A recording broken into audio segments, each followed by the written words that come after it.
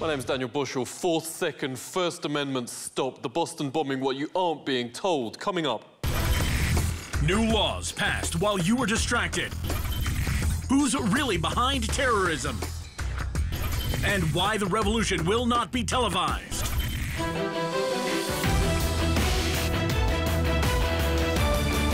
Track coach Alistair Stevenson's been in hundreds of marathons. Before and during this race, there's bomb drills for the first time.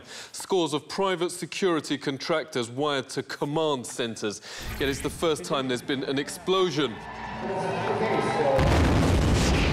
The witness was shocked at FBI denying a bomb threat or even that a drill took place when it was regularly being announced on the loudspeakers. There was um, police spotters, or uh, there was people on the roof with, with binoculars looking down onto the athletes' village at the start. There was dogs with their handlers going around sniffing for explosives, and, and we were told on a um, loud announcement that we shouldn't be concerned. This, this was just a drill.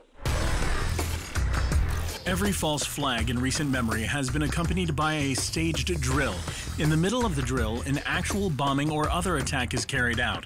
The Justice Department admits terrorists and victims are played by volunteers and actors. The format is highly effective because patsies who are going to be blamed are simply told you're participating in a drill. Before the blast, authorities warned of a controlled explosion near the finish line. Standing by the finish line but leaving just before the explosion, professional killers Craft International wired up to FBI command. On their caps front and back, Craft's logo and slogan, violence does solve problems. After the explosion, the Craft backpack is missing. It looks identical to the exploded one, down to the white square on top. The suspects' ones aren't even the same colours. Here's the city commissioner calling Tsarnaev's actors before correcting himself. We're confident that, these were the two actors, these were the two individuals that were carrying out uh, this mission. Intelligence author James Fetzer calls this the most amateurish false flag. The official suspect's shot given to media, hundreds of readers note, is horrendously photoshopped. A leg with no body, a ghost in the background, and many other discrepancies. They also note this is how Patsy's write. This will be the last message before the police get me. I never done it. They set me up. Father, please forgive me. I am sorry it has come to this. The FBI says the boy ran over his brother, but witnesses confirm this is him being escorted by police and the chilling sight witnesses saw next. We saw the first suspect get hit by a police SUV, and then after he was hit, shot multiple times.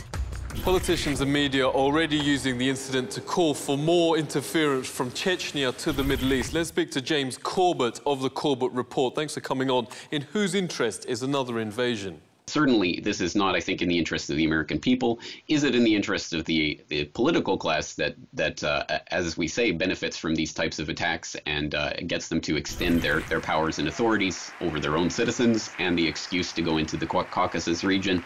Absolutely. It's almost impossible to find a military uh, engagement that America has been involved in since that time that it ha- hasn't in some way provocateured or used false pretexts to get the American public on board with. So I think we have to be extremely wary of these types of incidents, especially when they're used as a political uh, a political rallying cry. Um, just as the USS Maine was, they had the uh, re- remember the Maine uh, to hell with Spain, and I think um, I, I, would be very surprised if there weren't people in the Pentagon working on uh, words to rhyme with Chechnya. An investigation finds the FBI practically behind every so-called terrorist plot in the United States. Agents find someone poor enough to bribe and set the plot up for them from start to finish. In one case, the judge said. What occurred here is that a government created acts of terrorism out of a man's bravado and then made those fantasies come true. I suspect that real terrorists would not have bothered themselves with a person who was so utterly inept. Here's the FBI praised for stopping what it says was full ground war against the United States. Now, fortunately, because of the fine work of law enforcement, these men were unable to advance their deadly plot. A dreadful potential catastrophe averted. And clearly, Government wouldn't bother to hold a press conference if this were not a major step in the war on terror, right? All right, so good night, everybody. And, oh, I'm sorry, uh, questions. The uh, uh, uh, man have any actual contact with any members of Al Qaeda that you know of? Any? Yeah, the, the answer to that the answer to that is no. How was this plot? I mean, did you find any explosives, weapons? Now, and, and you, and you raise a, a good point. You do raise a good point. Uh, that point being that these deadly international terrorists had very slyly disguised themselves as a bunch of dip living in a warehouse. Let's talk to Dr. Kevin Barrett, author of Questioning the War on Terror. Thanks a lot for joining us. How does the system work? The FBI approaches gullible and sometimes even mentally retarded or homeless people on the fringes of the Islamic community and gives them uh, a plot and says, hey, we're going to try to, you know, and once they approach these homeless people in Florida and said, we want to blow up the Sears Tower, could you help us? here's $50,000 to go buy boots. And naturally, these homeless people accepted $50,000 to go buy boots, and so they were arrested for terrorism. They do need to kill a few people every now and then to keep the war on terror going, to keep their budgets flowing. Uh, so, yeah, I don't think it would be a mistake uh, when some of this live ammunition that the FBI regularly gives happens to go off. Of course, all terrorists are Muslims, except the 94% who aren't.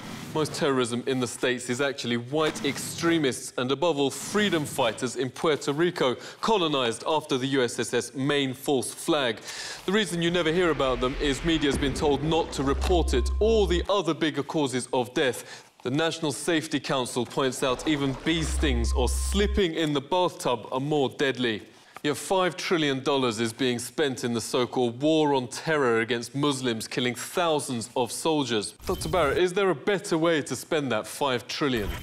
Well, sure, of course. I mean, you know, you're much more likely as an American to die in your bathtub from drowning or to be hit by lightning than to be killed by terrorists. So if they really cared about your life, they would declare a war on bathtub. We lose a 9-11's worth of people uh, from tobacco every two to three days here in the U.S and we lose a 9/11's worth of people from automobile accidents uh, every 28 days.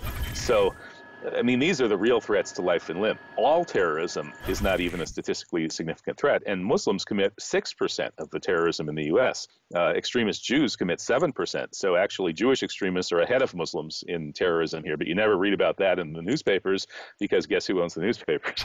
yeah, why are false flags so effective? Uh, humans don't mostly don't want to uh, engage in aggression against other humans. I mean, just as, as dogs will stop uh, attacking another dog if that dog gives a sign of surrender, uh, humans are wired to fight viciously in their own defense and the defense of their families and their communities, but not to go out and fight equally viciously in an aggressive raid. For that reason, Unscrupulous rulers who want to convince their people to engage in aggression need to convince their people that they are the ones who are under attack under attack Americans are by troops, the Pentagon has suspended America's historic Posse Comitatus law, which banned troops being used against US civilians. Tanks are for the first time on the streets of America, and Black Hawks with Hellfire laser-guided missiles on lawns. Citizens forced out their homes by soldiers, but wall-to-wall -wall troops didn't find the suspect. Man went out to smoke and accidentally found him in the garden. But drones over Boston are now a great idea, says Police Commissioner Ed Davis. Former Marine Corps Officer Professor James Fetzer, thanks a lot for joining us. What do you make of all this?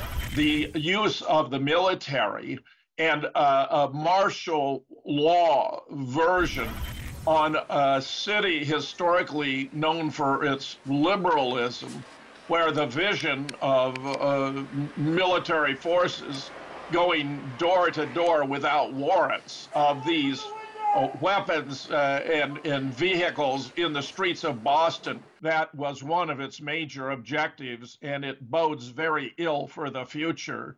Just as people were being forced out their homes, the House was ripping up the Fourth Amendment. The Ross through CISPA bill now permits invasion of privacy without warrant. Departing Congressman Ron Paul. Big Brother writ large, cutting the resources of private industry to work for the nefarious purpose of spying on the American people. And that was the plan all along, says the leak on the day of the drill. Warning laws being written to screw you. I work on a security commission. They're going to pin this event on a male late teens to early 20s. They're going to say he used powder for the explosion and it shouldn't be for sale. They won't find the suspect till later this week, and the raid is issued to occur on Friday. This was a staged event. The event was planned. On Friday, the raid occurred as predicted, and that same day, the Senate brought in legislation to regulate gunpowder. Let's speak to StoryLeaks' Anthony Gucciardi. You've interviewed witnesses and military intel about this. What do you think of the moves? The major explosive materials are common. I mean, you can explode flour if you want to. You can ex- explode pretty much anything and make it a weapon. We've seen that before. But yeah, they're using it to go after this agenda to restrict certain freedoms. I mean, let's let's put it like this. I'm not a super gun crazy guy. No, no question. But if they're they manage to take away the Second Amendment, then they can take away the First Amendment as well, which is freedom of speech, and they can take away the Fourth Amendment. And no one's talking about them. It's a complete media blackout. You will not be able to stay home, brother, because the revolution will not be televised. People say they're more afraid of the government after this attack than terrorists. Millions have gone online angry over the military precedent.